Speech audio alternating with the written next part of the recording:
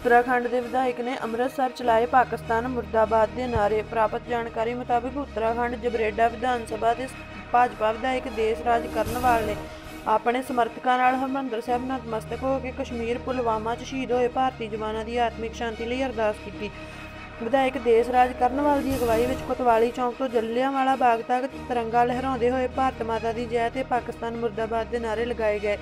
ਅਤੇ ਜਲਿਆਂਵਾਲਾ ਬਾਗ ਵਿੱਚ ਸ਼ਹੀਦਾਂ ਨੂੰ ਸ਼ਰਧਾਂਜਲੀ ਦਿੱਤੀ ਗਈ। ਇਸ ਉਪਰੰਤ ਉਹਨਾਂ ਨੇ ਹਰਿਮੰਦਰ ਸਾਹਿਬ ਮੱਥਾ ਟੇਕ ਦੇਸ਼ ਦੀ ਅਮਾਨ, ਅਮਨ ਸ਼ਾਂਤੀ ਦੀ ਅਰਦਾਸ ਕੀਤੀ। ਇਸ ਤੋਂ ਇਲਾਵਾ ਉਹ ਸ਼ਾਮ ਨੂੰ ਭਾਰਤ ਪਾਕਿਸਤਾਨ ਸੀਮਾ ਵਾਗਾ ਬਾਰਡਰ ਪੁੱਜੇ, ਜਿੱਥੇ ਉਹਨਾਂ ਨੇ ਕਸ਼ਮੀਰ ਦੇ ਪੁਲਵਾਮਾ ਜ਼ਿਲ੍ਹੇ ਸਥਿਤ ਅੱਤਵਾਦੀਆਂ ਵੱਲੋਂ ਜੀਆਰਪੀਐਫ ਜਵਾਨਾਂ ਤੇ ਹੋਏ ਅੱਤਵਾਦੀ ਹਮਲੇ ਕਾਰਨ ਪਾਕਿਸਤਾਨ ਵਿੱਚ ਜੰਮ ਕੇ ਅੱਤਵਾਦੀਆਂ ਦੇ ਖਿਲਾਫ ਵਿਰੋਧ ਪ੍ਰਦਰਸ਼ਨ ਕੀਤਾ। ਨਾਲ ਹੀ ਉਹਨਾਂ ਨੇ ਪਾਕਿਸਤਾਨ ਮੁਰਦਾਬਾਦ ਹਿੰਦੁਸਤਾਨ ਜਿੰਦਾਬਾਦ ਦੇ ਨਾਅਰੇ ਵੀ ਲਾਏ। ਇਸ ਮੌਕੇ ਸਤੀਸ਼ ਕੁਮਾਰ ਸ਼ਰਮਾ, ਜਤਿੰਦਰ ਸੈਣੀ, ਦਿਲੀਪ ਚੌਧਰੀ, ਮਾਂਗੇ ਰਾਮ ਚੌਧਰੀ, ਰੋਹਿਤ ਚੌਧਰੀ ਸਮੇਤ ਹੋਰ ਕਈ ਕਰਮਚਾਰੀ ਮੌਜੂਦ ਰਹੇ। ਬਿਊਰੋ ਰਿਪੋਰਟ, ਆਵਾਜ਼ ਏ ਕੌਮ ਟੀਵੀ।